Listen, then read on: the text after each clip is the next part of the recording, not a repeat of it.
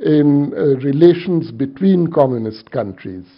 China took the line that the source of the crisis in Eastern Europe lay in Moscow's big power chauvinism and conveyed its firm opposition to Soviet military intervention. Moscow itself decided against recourse to armed action and issued a declaration on October 30th asserting the quote principles of full equality, respect of territorial integrity, state independence and sovereignty and non-interference in domestic affairs, unquote, governing relations between socialist states. China immediately offered its support through a statement issued on November 1, hailing the Moscow Declaration as of great importance in, quote, correcting errors in mutual relations between socialist states, unquote, and asserting that socialist states were inherently able to better apply the five principles than capitalist countries. Thus, the statement made the point that relations between socialist countries should all the more be based on the five principles of peaceful coexistence. This turned out to be a singularly short lived position. China soon reversed its position, almost immediately reversed its position on military intervention in the context of developments in Hungary. The Gomulka government in Warsaw had pledged its fealty to the Warsaw Pact. In Budapest, however, the newly installed Nagy regime announced its intention of quitting the Warsaw Pact. Mao then decided that Hungary had become a quote unquote battleground for socialism, unquote. And China urged Moscow to quote, suppress the counter revolutionary armed rebellion, unquote, by military force. Uh, the shift in the Chinese position, I mean, almost immediately after November 1, it, China reverted to its traditional position on ties between socialist countries as formulated in the Sino Soviet Treaty of 1954. Uh, by 1958, Panchsheel had reached the zenith of its influence. Though bo uh, uh, border incidents began to occur uh, within months of the signature of the Tibet Treaty, these early encounters did not involve exchange of fire or loss of lives. However, on 21st October 1959, Chinese troops opened fire on an Indian patrol killing a number of, uh, of Indian troops. This had a powerful impact on Indian public opinion and led to a sharp questioning of Chinese intentions. The Tibetan uprising and the Dalai Lama's flight to India in 1959 also led to serious complications in India China uh, uh, relations. Now, in contrast to India, China's foreign policy underwent more than one dramatic change of course during the Cold War years. Starting as a Soviet ally and an adversary of the United States, it turned against Moscow at the end of the 1950s and embarked on a policy of staunch opposition to both superpowers. It again changed course in the early 1970s when it normalized relations with Washington in order to contain its former Soviet ally. Finally, uh, the latter half of the 1970s witnessed the normalization of Sino Soviet ties. The Chinese position on the five principles shifted with each of these policy transformations. Ironically, disagreement over peaceful coexistence was one of the underlying factors in the Sino Soviet split. At the 20th Communist Party Congress in 1956, Soviet Communist Party Congress, Khrushchev sounded a call for peaceful coexistence between the rival blocs. Beijing initially supported the call, but soon reversed its position, mainly because of apprehensions that the principle inhibited active Soviet support for China's efforts to regain control of Taiwan. Scholars have viewed the 1958 Taiwan Strait crisis as Mao's challenge to the Soviet strategy of peaceful coexistence. In 1959, China reinforced its rejection of peaceful coexistence by strident calls for world revolution. The following decade witnessed a rapid downward spiral in Sino Soviet relations, culminating in military confrontation along the disputed border. China denounced the Soviet Union as a social imperialist state. In 1969, border clashes on the Ussuri River raised the scepter of war between the former allies. On September 11th, in the wake of the Ussuri incidents, Zhou Enlai met with Soviet Premier Kosygin at the Beijing airport while the latter was in transit on his way home from Hanoi. During an exchange of views on ways to restore stability in bilateral relations, Zhou stated that though proletarian internationalism was not applicable in the case of ties with Moscow, state to state relations could be maintained on the basis of the five principles. Zhou's initiative, however, did not yield concrete results.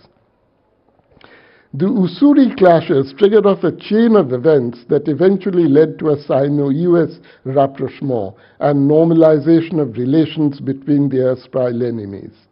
China had originally advanced the five principles of peaceful coexistence as a diplomatic counter to US influence in Asia. With normalization of Sino US ties, the five principles appeared in a startling new incarnation. The Shanghai Communique of 1972, which established the basis of the new relationship, devoted an entire paragraph listing the principles while refraining from using the label Five Principles of Peaceful Coexistence. Let me quote from this paragraph. The two sides agreed that countries, regardless of their social systems, should conduct their relations on the principles of respect for the sovereign and territorial integrity of all states, non aggression against other states, non interference in the internal affairs of other states, equality and mutual benefit, and peaceful coexistence. All the five principles. International disputes should be settled on this basis without resorting to the use of force. The United States and the People's Republic of China are prepared to apply these principles to their mutual relations, unquote. So you have a reiteration of the five principles in the Shanghai Communique. In 1976, India and China agreed to restore diplomatic ties to the ambassadorial level relations between the two countries registered slow but steady improvement in the following years, leading to Prime Minister Rajiv Gandhi's landmark visit to Beijing in 1988, almost three decades after Premier Zhou Enlai's visit to India in 1960. The Rajiv Gandhi visit delinked the border question from other issues and thus established the basis for steady progress in India China relations. This was reflected in the joint press communique issued at the conclusion of the visit, which for the first time since the 1950s included a substantive reference to the five principles. Panchsheel no longer arouses either the enthusiastic support or the controversy that attended its birth in the mid 1950s. Its regular reiteration in uh, India China exchanges may be seen as reflecting a generally stable state of relations between the two countries, despite their well known uh, differences over the border. Thank you.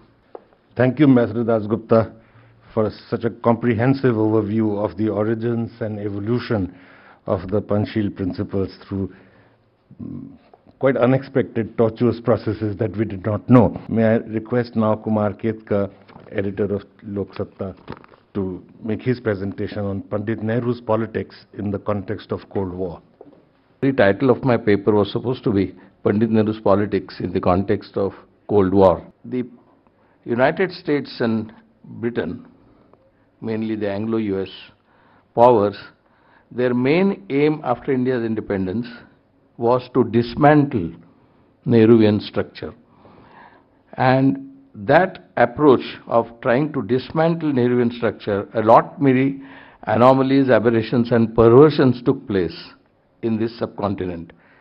And actually most of the time, first Pandit Nehru, then Indira Gandhi, and then Rajiv Gandhi, and I'm not referring to them in a dynastic order, but in the regime sense, their main task has always been, though not often publicly stated or made vocal in that form, is to fight the forces unleashed by Anglo-US axis to dismantle Nehruvian structure and in the process destabilize Indian polity, destabilize Indian society.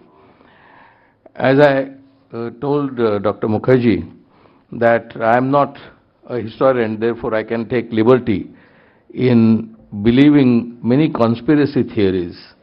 And uh, conspiracy theories are generally looked down upon but I have somehow some faith in them because some of them have been proved to be true after a few years. And then they have been incorporated in history. But at the time when somebody was raising the conspiracy theories it was always considered as below par. It's not historically proven because many of the conspiracy theories cannot provide concrete evidence.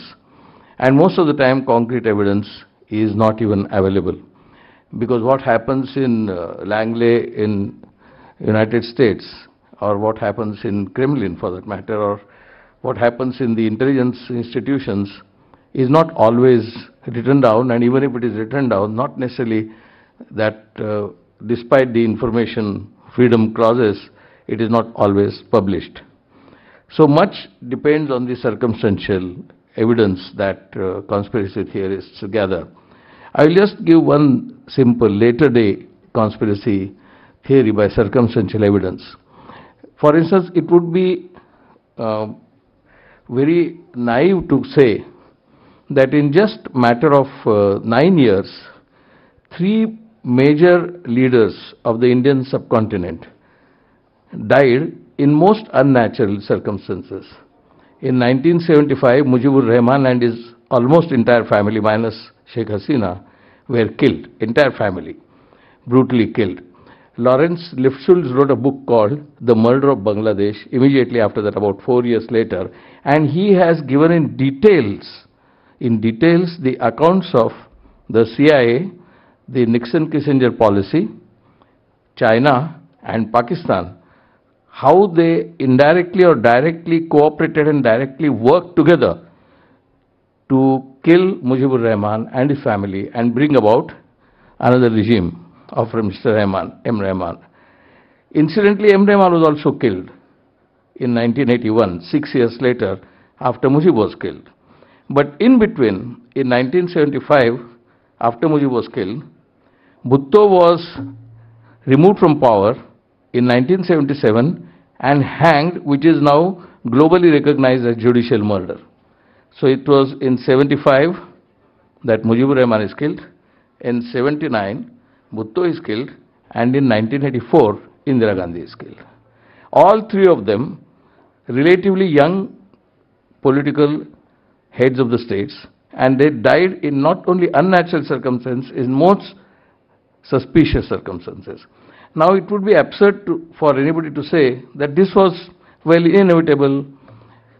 Mrs. Gandhi was killed because of uh, Golden Temple, her actions in Golden Temple. Mujibur Rahman was killed because between 1970 and 1975 he did not rule properly, there was a lot of corruption. And in 1979 Bhutto was hanged because of the all the kinds of crimes he had committed during his regime and before, so he had to be hanged. The question is not whether Mujibur Rahman was a saint, Bhutto was a saint, but the idea of dismantling Nehruvian structure in the Indian subcontinent, particularly India, was definitely the plan of uh, the imperialist powers or just now as you mentioned, different forms of colonialism or different forms of imperialism. I can also say, unfortunately I would say, that the cold warriors, the new imperialist cold warriors, have actually, in today's circumstances, I find, have succeeded in their games in India. And I find now that the entire Nehruvian structure is endangered by the forces which were, which were unleashed by United States and England in those days. They had identified three or four spots in India which will become the major points of conflict where they can create their own, uh, their hand they can have. One was, of course, uh, Tibet. Then there was, of course, there is and there was Kashmir. And there was Nepal and partly even Sikkim. In 1974, when Mrs. Gandhi's politics helped Sikkim to be integrated with India, perhaps many of, you, many of you will remember how much hue and cry was made by the US representative institutions in India, in the press, among the individuals, among the intellectuals, among the scholars, and so on. And these institutions were created when Nehru was Prime Minister in India. The so-called cultural freedom-related institutions in India were created when Nehru was there. The references to C2 and other political, which have been correctly made.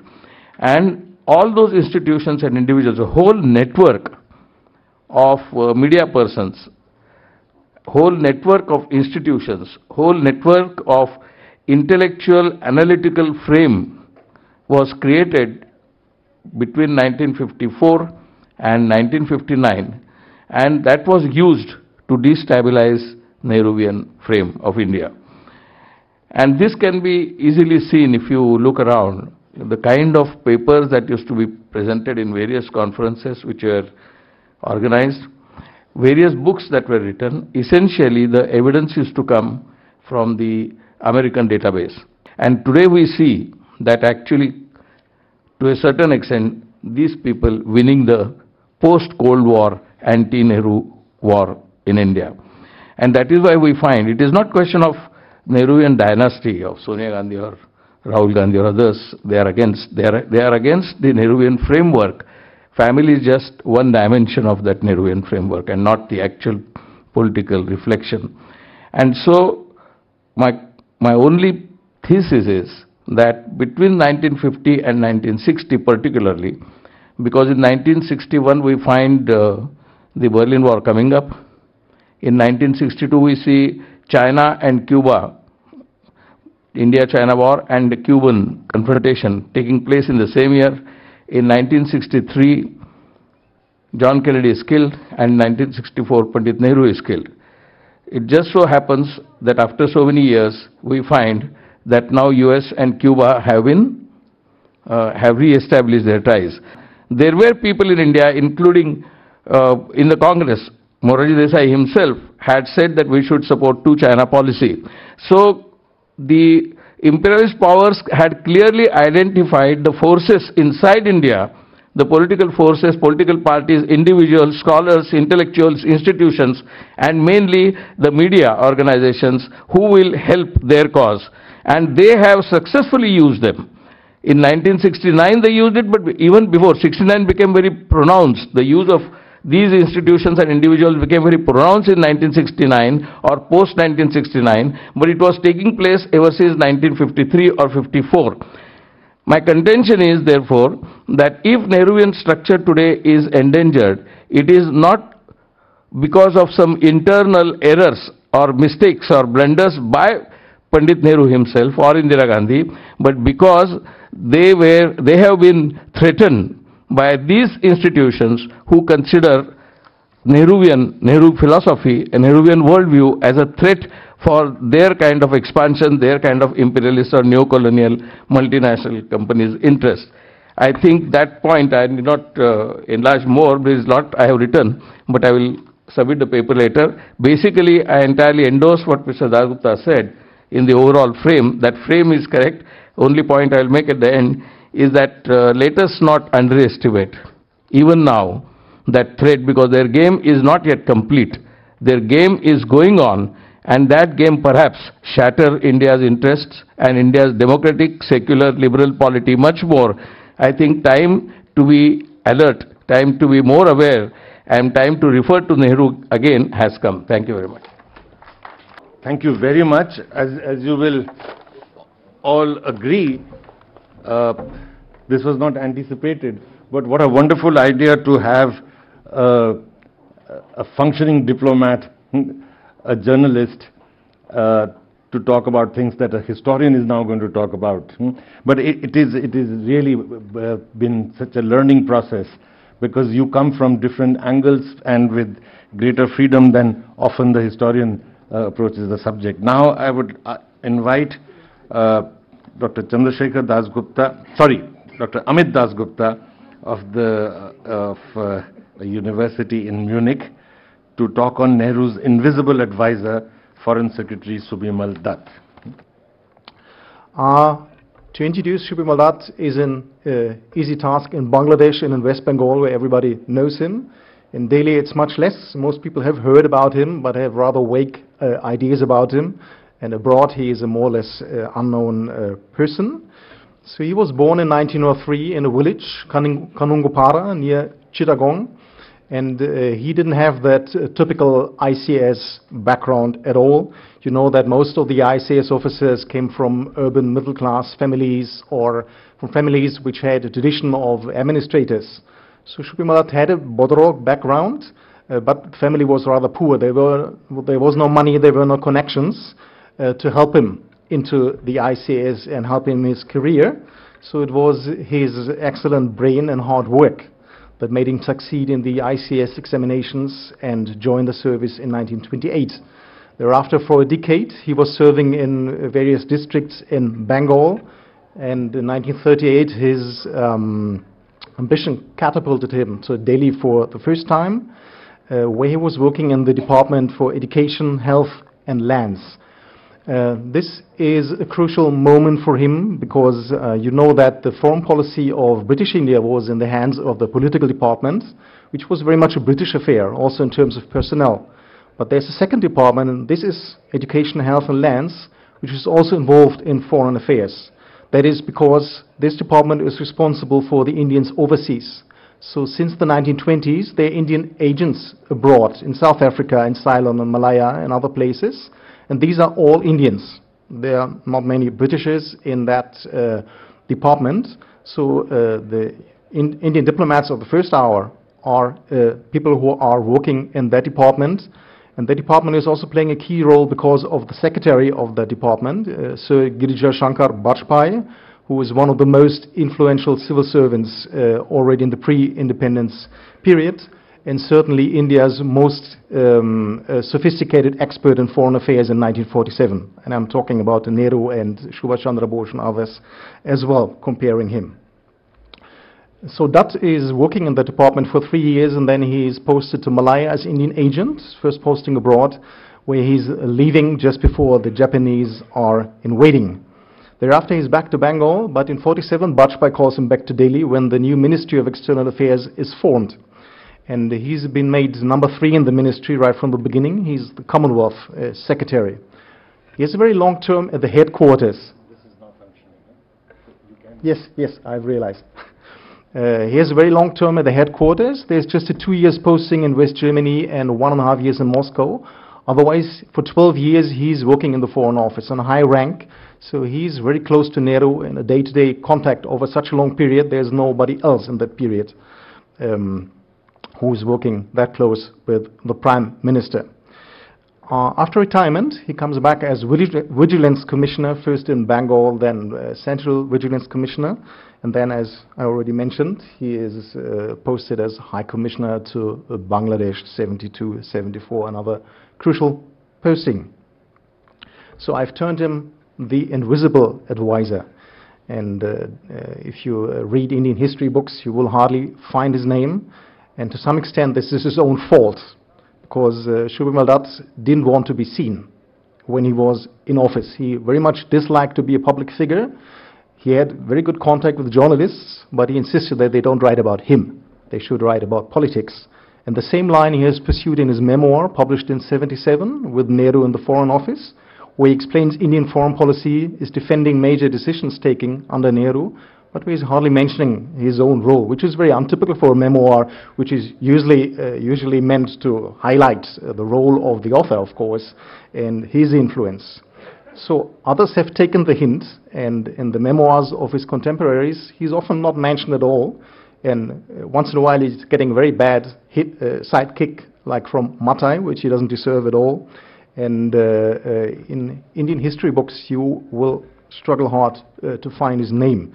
So uh, fortunately, and I think deliberately, he has left this uh, collection of materials, which allows me and hopefully later, uh, uh, later on others uh, to give him back the role he has deserved in the history of Indian foreign policy, not only there. Well, to come to my question here is if there has been a sole architect of Indian foreign policy. So in the popular studies about Indian foreign policy, you will always find that sentence, Nehru was the sole architect of Indian foreign policy. And this is true, of course, to that extent that the Prime Minister has the last final say with all major decisions. That's at least the theory. I will give you a case where this has not been happening.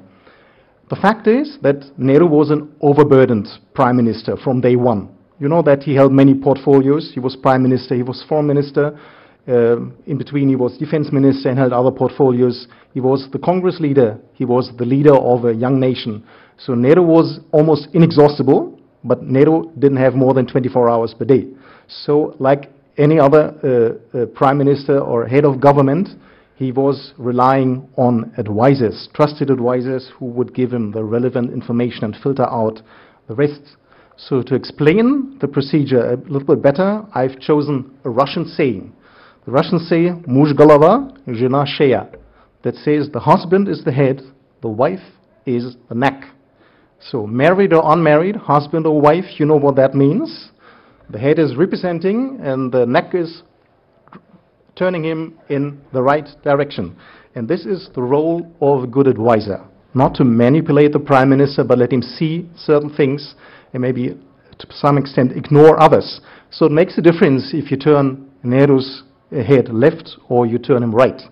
And uh, there are many advisors around Nehru who are involved in that, who have very different views of world uh, politics and I want to give you just a few of them. So Nehru, without doubt, is the man in charge, of course, but you know that his most uh, uh, important advisor was Krishna Menon, with strong leftist linkings, uh, uh like um, uh, leanings. And you know that uh, Krishna Menon played a crucial role for India's relations with the United States, the United Kingdom, and was India's face in the United Nations, not always to India's benefit, to put it mildly. Um, from the conservative side in the cabinet, there was the Home Minister, Govind Ballabh Pant, who particularly in Indo-Chinese relation played a, a, crucial role. When you see the, uh, go through the recent volumes of the selected works, um, you can find uh, many um, documents which were first discussed by uh, the Ministry of External Affairs with Nehru and finally given for final approval to Pant, who was seen as the final expert and a man with a very realist approach. So here we have another advisor, Krishna Menon, and uh, Pant, of course, are ministers, and in a democratic government, you would expect that the ministers take uh, part in a decision-making process shaping Indian foreign policy. So uh, these officers have been trained by the British over so many years, and in the top ranks you have uh, G.S. Bajpai, you have KPS Menon, and then uh, Dutt they have a certain mindset which comes from their upbringing, so to say, which I've termed the ICAS school in Indian foreign policy. On some points, they agree with the Prime Minister. They fully agree, and that is a certain ambivalence regarding the United Kingdom. So it's well known the story with Nehru, and it's true for the ICS officers as well, because on the one hand, they have been studying in Britain, they've been trained by Britishers, they termed brown Englishmen, on the other hand, they have seen independence coming from the 1930s onwards, and they are nationalists. So they have two souls uh, in conflict in the 30s and 40s. And once India becomes independent, they, of course, they are loyal, they are nationalists, they are patriotic, but they have still these informal contacts with their former colleagues when British and uh, um, Indian delegations are meeting. So there's that ambivalence which is shared with the political leadership. And there's the second point of view is the, again, British belief that the United States are very powerful, but also very immature. This is a democracy which can take turns at any moment. You never know what they are going to do. They might force an alliance with Stalin and uh, change their mind uh, soon thereafter. So this, at these two points, there is broad agreement. But there are also points where there is a certain disagreement. You know that the Congress leaders, they were in prison for so many years, they were all very, very well read, and they are very, very good in political theories, and uh, they had rather little experience in practical politics. So these ICS people, they have been running India, the districts. They are men of day-to-day work, of solutions. They are not the big thinkers. Some are, as a private fashion, but uh, by their job, they are pragmatists, they are realists. So there's a certain difference here, and there's even more uh, of a difference when we talk about the attitude towards communism. So the British were fearing the independence movement, of course, but they feared even more a communist takeover in India.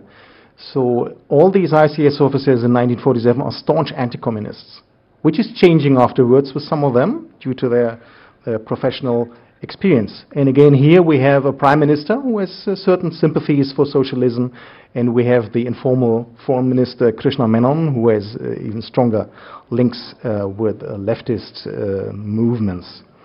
Um, this all is not um, resulting in conflict because the ICS officers are as loyal as they have been to the British, but you see that once in a while the views are conflicting when they are in the decision-making process.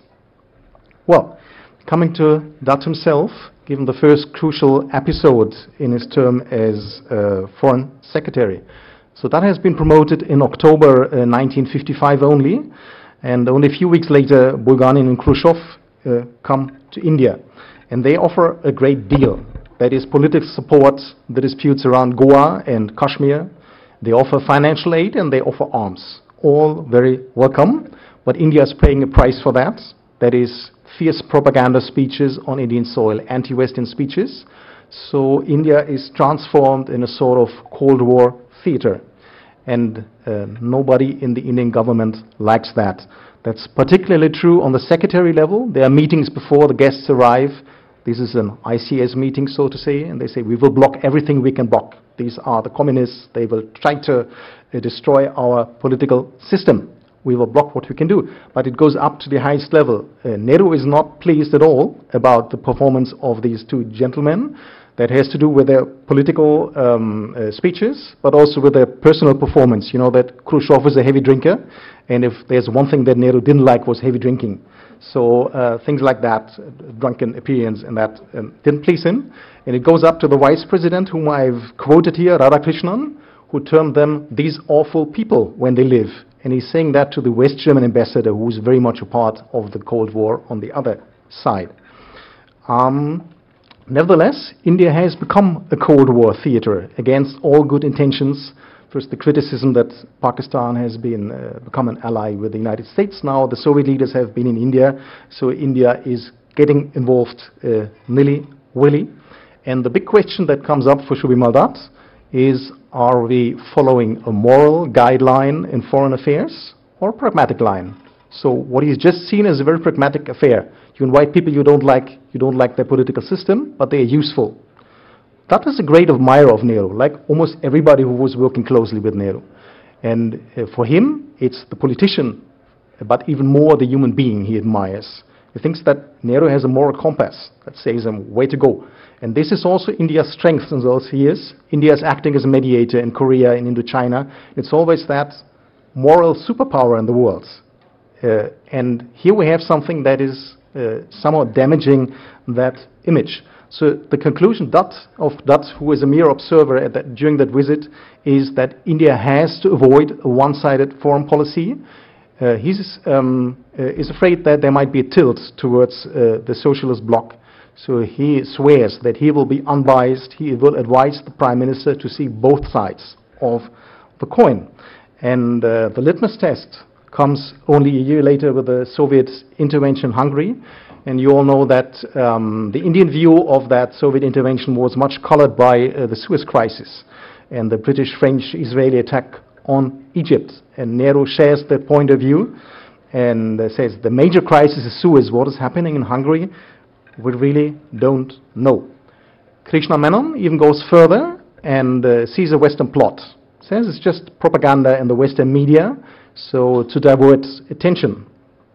And uh, he's getting support, surprisingly, by another former ICS officer, KPS Menon, who is ambassador to Moscow and to Budapest, actually, where he hardly ever goes because this is just a, a sideshow. So KPS Menon believes Bulganin, who assures him there are no killings, there, we don't send the tanks into Budapest, there are no deportations, uh, which we all know is not true.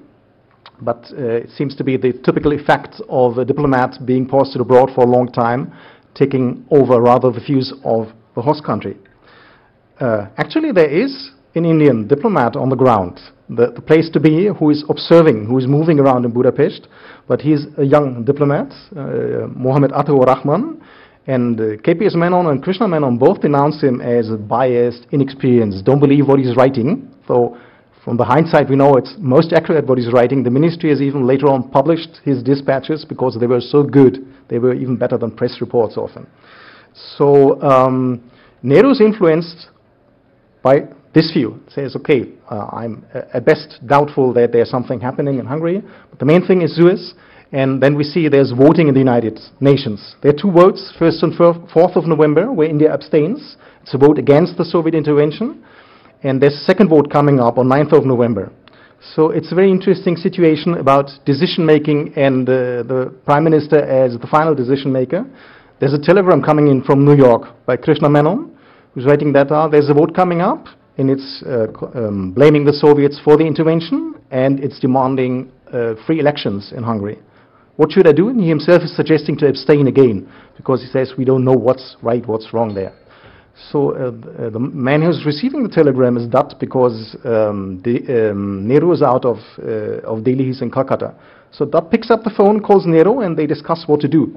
And they also agree that uh, India should abstain. They are already in drafting a text, and then next telegram is given to Dutt. And there Krishna Menon has written, I voted with the Soviet bloc, without authorization, of course. So India is isolating itself in the United Nations. So there's only one country voting with the bloc, socialist bloc, and this is India. And this, of course, is tarnishing uh, India's image as the moral superpower very, very much, and it's done without authorization, which, of course, is unacceptable to a bureaucrat that somebody is just in such a crucial question is uh, taking such a decision on his own. You know that Nehru backed Krishna Menon uh, against much criticism afterwards uh, for what he has been done. But there's a second story. We know much less. And that's what's happening inside um, that ministry. There is Subimal Dutt, who rather quickly believes that the reports from Budapest coming in are proper. And his colleague or superior, the Secretary General, Sir Raghavan Pillai, another ICS officer, shares his point of view. So they are trying to convince Nehru that there is some truth in what is coming in from Budapest, and that's quite an interesting, it's a week-long struggle. So you see Nehru changing his mind twice or thrice a day. So in the morning there might be coming in a telegram from New York saying that all, all the Western uh, plots. Then there's a discussion with Pillai and Dutt when Nehru says, okay, I think uh, you're right and Krishna Menon is wrong. There might be a, a third uh, contact in the afternoon, and then again the mind is changing. So this is going on for three weeks, surprisingly. And uh, at the end, to come to a conclusion, there are two ambassadors sent uh, to Budapest um, to see what's really happening on the ground. One is KPS Menon, who is uh, responsible for Hungary, and the second is Jan Khosla, who as a personal uh, representative of Nehru, who is ambassador in Czechoslovakia. So they go to Budapest and immediately they confirm that the reports from this junior diplomat Rahman are accurate. So this is the turning point. You could say that Dutt and uh, together with Pillai, they have won a battle which they almost had given up because they both considered to quit their job after uh, Krishna Menon's vote in the United Nations says we can't stand for anything like that. And uh, Pillai convinces Dutt to stay on and says whoever will uh, succeed us will be worse than us, will not uh, put the foot down, and so to say, they win the struggle. And uh, there's an interesting story which is, uh, has not been told as far as I know, that it's all known that uh, the Indian vote in the United Nations, but there's a story afterwards, Indo-Hungarian relations, that's about India putting massive pressure on Hungary. Now there's a new government, the Kadar government, who wants to be accepted internationally. They approach India for many things. They want to have the legation in Delhi upgraded to uh, a proper embassy. They want to have agreement signed. And whenever they do that, Dutt, with Nehru's authorization, hands over a list says, we have a list here, 20 political prisoners, writers, artists, uh, whatever. You set these people free, then we can start talking. Before you don't do that, it's over. So this is this line is pursued for two full years. It's of course obvious that uh, they should have pursued a similar line with the Soviet Union, but India was now uh, was not able to do that, of course. But it's more than a symbolic gesture. It's uh, clearly telling the story that we know what happened and we are back uh, to the right view.